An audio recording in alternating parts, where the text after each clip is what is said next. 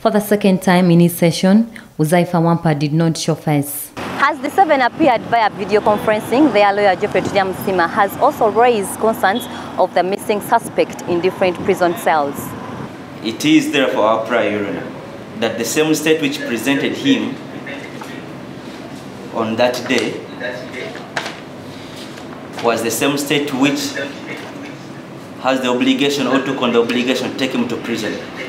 Inform this honorable court of his whereabouts. These ones are raised and then inform court about the whereabouts of the same age and the next mention.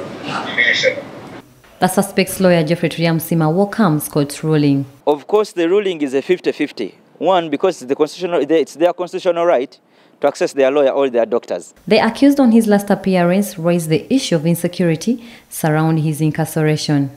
To be sincere, the last communication we got, that was then when he had been brought out of this court, was that he had not yet reached Kitalya.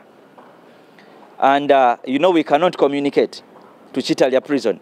At the same time, we cannot go there because they cannot allow us. Court, however, declined the plea in writing to prison authorities on access to clients. Similar request to allow the suspects victims of torture access their personal doctors was quashed. Last month, Nakawa Chief Magistrate Douglas Singiza remanded the group to Chitalia government prison over purported torture by security agencies. The group is also suspected of involvement into the murder of Brenda Nantongo, a daughter to General Katumba, and his driver, Sergeant Haruna Kayondo, on 1st of June 2021. Flavia Ninkuze, CTV, PM Edition.